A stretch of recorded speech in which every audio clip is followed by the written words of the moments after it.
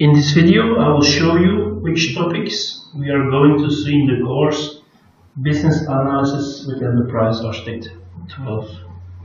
The first thing we are going to do is make an end-to-end -end model where we are going to model every layer from our project. We will start with a motivation layer, then we will go on with the enterprise architecture made in Archimate 2.0.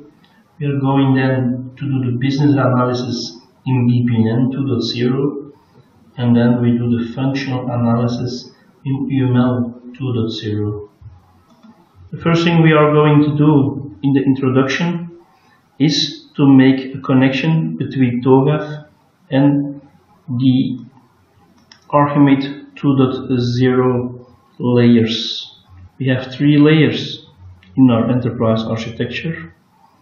We have the business layer, the application layer, and the technology layer. In the business layer, we will define all the libraries from all the elements we are going to reuse later. Example, we are going to reuse applications from Archimate in BPMN, applications from Archimate in UML, actors, roles from Archimate in BPMN and in UML.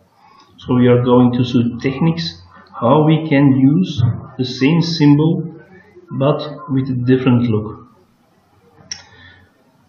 Then we make a model, an end-to-end -end model. We start with the enterprise architecture. Then we go on in a second layer, the BPMN layer, where we have less details. Then we go on in a deeper layer, also BPMN. We are at the level of work processes. Here you can see the applications, the lanes, the roles we are going to reuse from Archimate. When we go again a, a layer deeper, we are coming into UML, a use case overview with all the detail of all use cases. A level deeper, we are in the activity diagrams. All activities are connected and if we click on the user activity, we will also see the screens of this activity. So our model is top down.